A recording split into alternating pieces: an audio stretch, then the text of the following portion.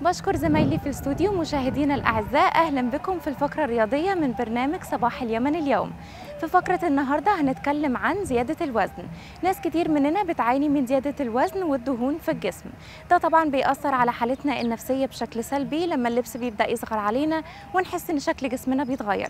كمان حالتنا الصحية بتتأثر لأن زيادة الدهون في الجسم بتسبب العديد من الأمراض. الحفاظ على وزن صحي ومتوازن أمر ضروري لصحة الجسم والعقل. في طرق كتير لفقدان الوزن منها اتباع نظام غذائي متوازن وممارسة التمارين الرياضية بانتظام لتحفيز الجسم على حرق السعرات الحرارية الزيادة. النهاردة معانا كوتش بسيوني محضر لنا تمرين قوي لحرق الدهون في الجسم. أهم حاجة إننا نعمل التمارين دي بشكل مستمر لتحقيق أفضل النتائج.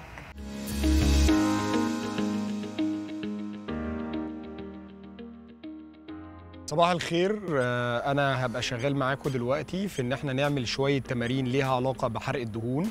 هي تمارين هتبقى سهلة وبسيطة جدا علشان أي حد يقدر يعملها في أي حتة.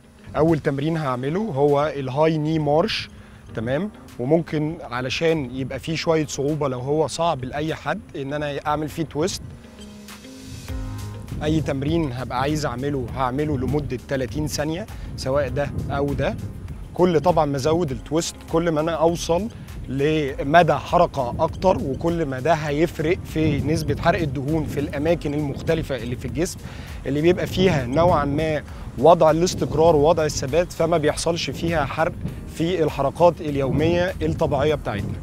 بعد ما هخلص هاخد 10 seconds break وبعد كده هخش في ال high knee إن أنا أجري ولازم الجري يبقى منضبط مع النفس علشان أقدر أحرق أكبر نسبة من الدهون. بحاول على قد ما أقدر أرفع ركبي أعلى من مستوى وسطي. وفي نفس الوقت أحاول على قد ما أقدر أبقى على مشطي.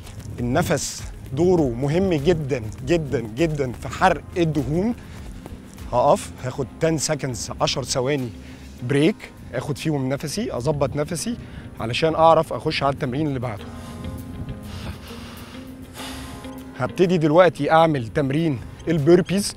ال burpees بالنسبة لناس كتيرة جدا ممكن تبقى صعبة بس هي فيها variations كتيرة جدا. خلينا ناخد ثلاثة variations وبعد كده نعمل الأسهل لينا. أول واحد إن أنا بنزل عادي جدا بفرد ورا وبرجع. لو ال jump ده صعب عليا ممكن أعمل رجل رجل وأرجع أقف تاني. ممكن أعمل نفس التمرين بصعوبة سنة يبقى في هنا jump ممكن أعمل نفس التمرين ب push up طبعا حتة إن أنا بشيل ايديا من على الأرض ده ليه علاقة بحرق الظهر وبتوسيع مدى الحركة إن القصة كلها في مدى الحركة وفي تأدية أداء التمرين. لو تعبت شوية مفيش مشكلة إن أنا أرجع من غير ضغط وبرضه لو تعبت ممكن أبتدي أروح خطوة وأرجع بخطوة. وده كان التمرين الثالث معانا. هاخد نفس 10 ثواني وبعد كده اخش على التمرين اللي بعده اللي هو هيبقى الجامبنج جاكس قبل ما نخش في التمرين أنا ممكن أعمله بخطوة أو ممكن أعمله بنطة.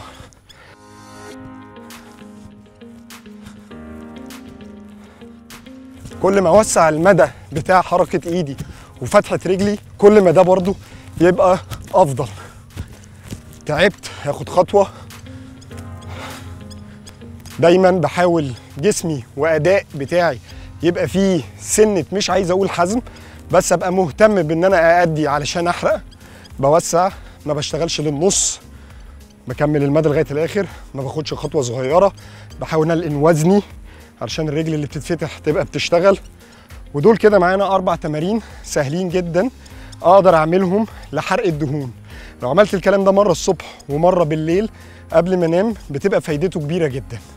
وده بالنسبة لحرق الدهون. شكرا.